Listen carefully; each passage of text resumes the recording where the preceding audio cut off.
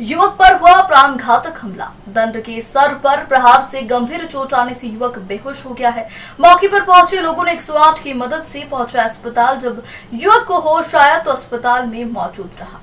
कटनी ज़िले की बरही तहसील अंतर्गत ग्राम पंचायत गड़ूहा, दिनांक 28 जून 2023 रात लगभग 9 बजे की है। जानकारी के अनुसार गड़ूहा निवासी अनुज राम गोपाल विश्वकर्मा गड़ूहा स्टैंड में अपनी दुकान में बैठकर दुकानदारी कर रहा था।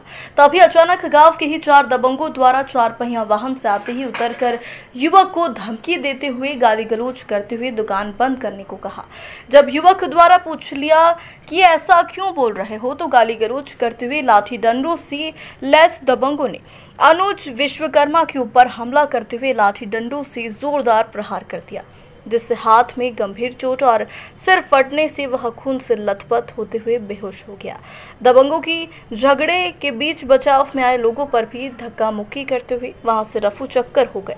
मौके पर पहुँचे लोगों ने 108 की मदद से सामुदायिक अस्पताल बरही में भर्ती किया है, जहाँ इलाज के दौरान होश आया।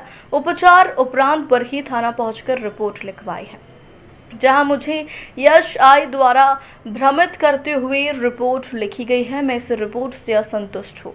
मुझे मेरी जान का खतरा है। सर पर जोरदार चोट आने से मैं बराबर बातचीत नहीं कर पा रहा हूँ। दबंग अभी भी वैसे घूम रहे हैं। मैं ज़िले के कप्तान महोदय से मेरे ऊपर हुए आत्मघाती हमले को लेकर न्याय की मांग करता हूँ कि ऐसे लोगों को गिरफ़्तार किया जाए। कटनी से ब्यूरो रिपोर्ट। क्या हो गया? मारपीट। कब हुई? 28 जून रात 9 बजे की क्या हुआ था तुम्हारे साथ? मेरे साथ चार लोगों द्वारा मारपीट की गई है। क्या नाम है उनका? संतराम विश्वकर्मा कौशल विश्वकर्मा दिनेश विश्वकर्मा कुबेर विश्वकर्मा। कहाँ हुई? यह बस गढ़ुआ बस स्टैंड में।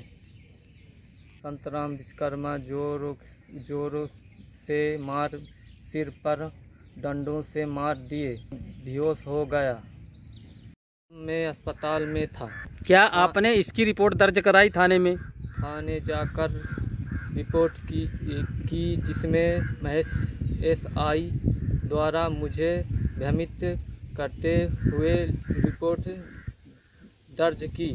पर मैं रिपोर्ट से असहमत हूँ। इस घटना के साक्षी बल्ले विश्वकर्मा, छोटेलाल केवट, दीपक सिंह परमार मैं अभी भी दर्द से ग्रसित हूँ।